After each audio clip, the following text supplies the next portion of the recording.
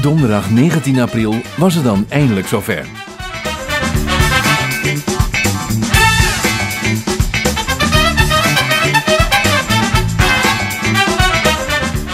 Op deze dag werd tijdens een ludiek persmoment het startschot gegeven voor een gezamenlijke inspanning tussen Reggefiber en de gemeente Helo.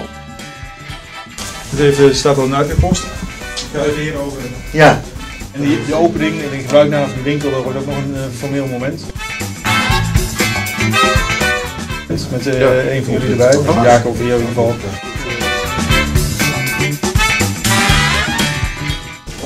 goedemorgen. Ja, dat komt zelden voor hoor. Zelden voor. Wethouders Veger en Ouderkerken en projectleider Bovenkamp zijn verheugd met het voornemen van Reggefiber een investering van vele miljoenen te doen voor een glasvezelnetwerk in Helo.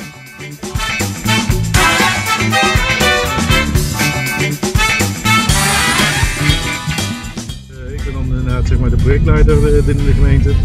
En nou, dus ook een projectteam.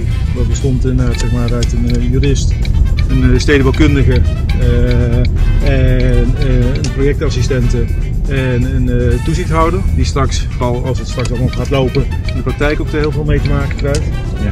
Nou ze hebben gewoon gekeken inderdaad van, nou ja, eh, hoe- waar de, wat moeten we allemaal vastleggen, welke regels, eh, zodat je voor beide duidelijkheid hebt eh, waar je aan toe bent. Zodat je niet straks als er dingen misgaan denkt, hé, hey, maar dat hebben we niet afgesproken.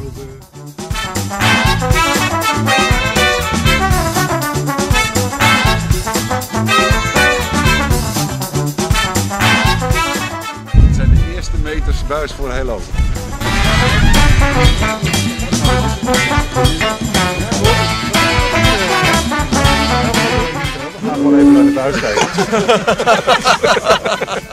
is, dit, dit is de mantelbuis. Ja, de mantelbuis.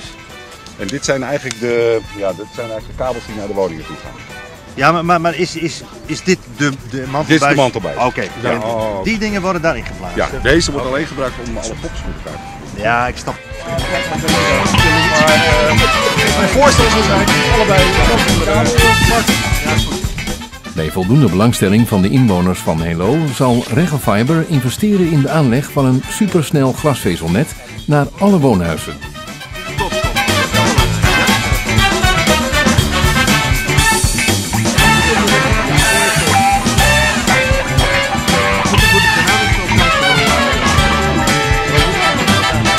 vandaag de 19e.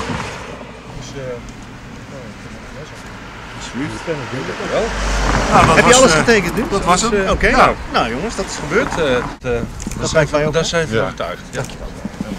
Dankjewel. Alsjeblieft, die geef ik aan jou. Nou, dan gaan we een kopje koffie drinken, toch? ja, goed idee. Dankjewel. Wat een idee. Ja, nee, ik ben nou ook wethouder financiën en je hebt, alleen, hebt het eigenlijk alleen maar over bezuinigingen. En nou, daarmee eh, ja, eh, vergeet je wel eens dat er gewoon ook heel veel positieve dingen eh, gebeuren en ook creatieve dingen gebeuren. En ik heb ook gezegd, ja, het is natuurlijk verschrikkelijk fijn dat in de tijd van de economische recessie een bedrijf Rekkenfiber gewoon vele miljoenen wil investeren hè, in, het, eh, in ons mooie, mooie dorp, mooie gemeente. Dus dat is op zich prima. Dat is echt een lichtpunt.